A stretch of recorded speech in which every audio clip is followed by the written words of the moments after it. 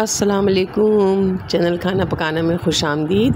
आज मैं आपके लिए एक ऐसी रेसिपी लेकर आई हूँ जो बहुत ही ज़्यादा हेल्दी और बहुत आसान और बहुत ही ज़्यादा मज़ेदार सी रेसिपी है।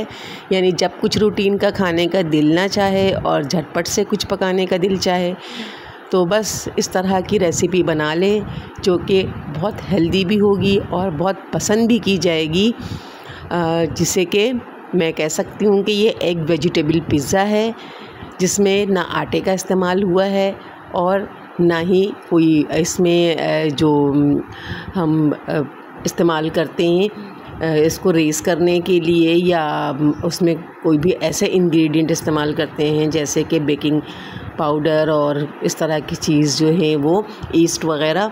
तो इस तरह की कोई भी चीज़ नहीं है, बल्कि आप इसको सिंपल एग के साथ जो है वो बना सकते हैं, लेकिन चूँकि इसमें चीज़ का भी इस्तेमाल होगा और वेजिटेबल्स भी सारी बेहतरीन सी हैं, फ्रेश वेजिटेबल्स तो बहुत ही मज़ा आने वाला है। मैंने अपने रिक्वायरमेंट के मुताबिक तीन अंडे लिए हैं और तीन अंडों को जो है वो मैं अच्छी तरह से बीट कर रही हूँ और बीट करने के साथ साथ इसमें मुझे मिल्क भी ऐड करूँगी मैं हाफ़ कप तकरीबन इसमें मिल्क मैं ऐड करूँगी। मैंने कहा था कि ये बहुत ही हेल्दी रेसिपी है। एग है, जो कि ख़ुद ही एक बहुत जो है, न्यूट्रिएंट्स वाली चीज़ है। यानी ये, जिसे कहा जाता है कि एक कंप्लीट ये डाइट है, यानी कि मुकम्मल गज़ा है ये। तो हाफ़ कप दूध दूध इसमें ऐड कर दें और हाफ़ कप दूध के साथ इसे बीट कर लेंगे हम। अच्छी तरह से इसको मिक्स कर लेंगे दूध में। और मिक्स करने के बाद इसमें मैं वेजिटेबल्स यूज़ करूँगी और वेजिटेबल्स जो मेरे पास हैं, वो हैं ग्रीन अनियन टोमेटो टमाटर है मेरे पास और जो वाइट अनियन है ग्रीन अनियन का जो पार्ट होता है वाइट अनियन वो भी है मेरे पास कैप्सिकम है मेरे पास। इसके अलावा इसमें हरा धनिया जाएगा और इसके अलावा इसमें हरी मिर्चें हैं। थोड़ी सी मैंने टेस्ट के मुताबिक ली हैं। आपको चाहे जैसे भी टेस्ट पसंद हो, कम या ज़्यादा आप ले सकते हैं।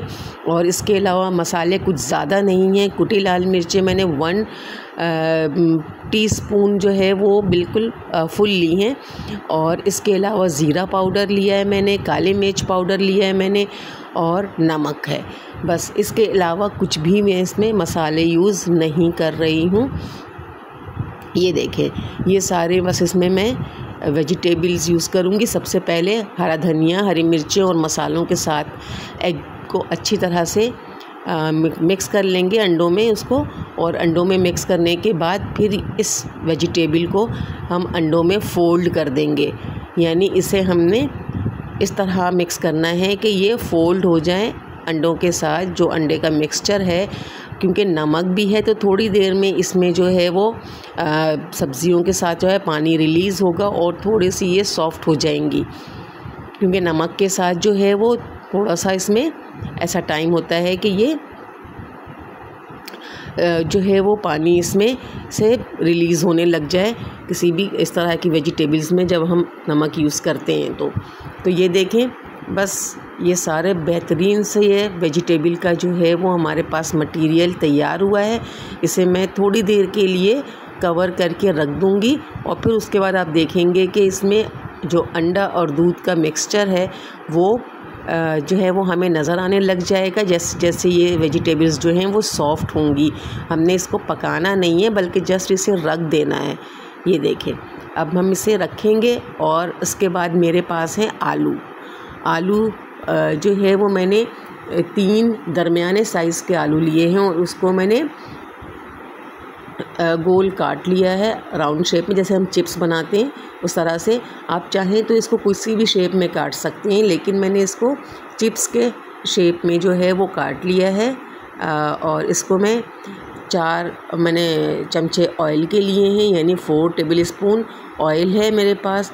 आप चाहें तो घी का भी इस्तेमाल कर सकते हैं, क्योंकि अगर हम ब्रेकफास्ट के लिए इसे बना रहे हैं तो इसमें हम घी भी यूज़ कर सकते हैं, लेकिन बस इतना ही ऑयल या घी का इस्तेमाल होगा, ताकि ये डाइट जो है वो एक बैलेंस डाइट हो, जिसमें कि सारी चीज़ें मौजूद हों। और चाहें तो इसे बटर में भी बना सकते हैं मार्जरीन या बटर में। थोड़ा ऑयल और थोड़ा सा मार्जरीन आप इसमें यूज़ कर लें अगर ब्रेकफास्ट के लिए बना रहे हैं तो।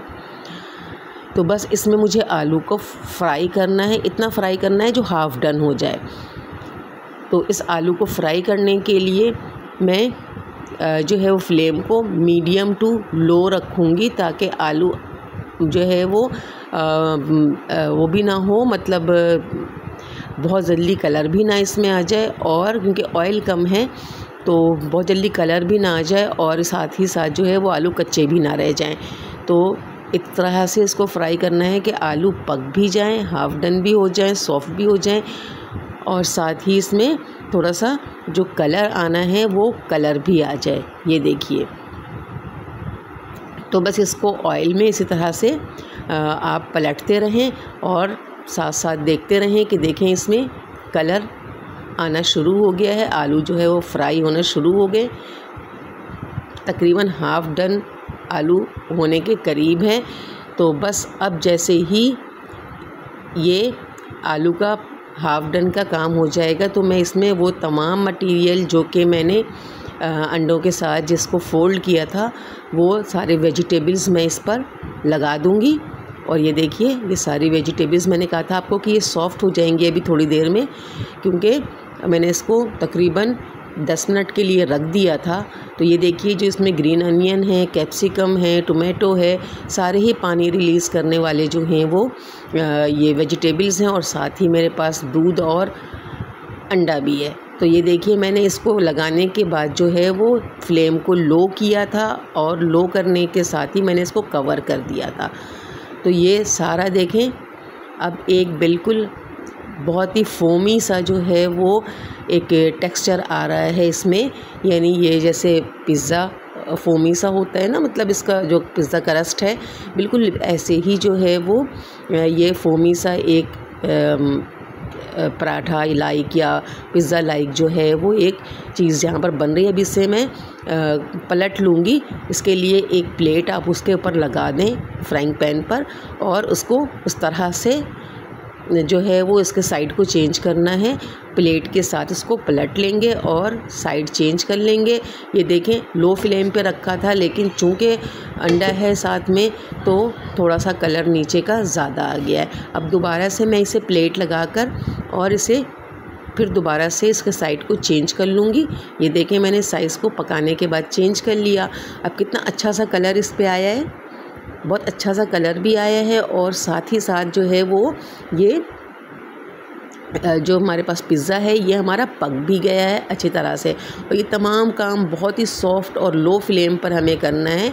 बहुत फ्लेम को हाई नहीं करना, बल्कि मीडियम भी नहीं करना, बल्कि जब हम आलू पका लेते हैं, आलू फ्राई कर लेते हैं तो उसके बाद फ्लेम का बहुत ख्याल रखें, क्योंकि इसमें ख्याल रखना इसलिए ज़रूरी है कि इसमें बहुत ज़्यादा पकने का काम नहीं होना है, बस स्टीम में पकने का काम होना है, क्योंकि आप चाहें तो इसे बेक भी कर सकते हैं, अगर अवन में आप लगा दें तो इसे आप बेक भी कर सकते हैं इस तरह से, लेकिन मैं तो विदाउट अवन बता रही हूँ तो ज़ाहिर सी बात है कि इसमें हमें जो फ्लेम है उसका बहुत ख्याल रखना पड़ेगा स्पेशली जब हम इस पर वेजिटेबल्स लगा देते हैं और उसके साथ अंडे भी हैं और इसके साथ जो है वो चीज़ें भी हैं। अब देखें इस पर मैंने चीज़ को जो है वो ग्रेट नहीं किया इस मरतबा।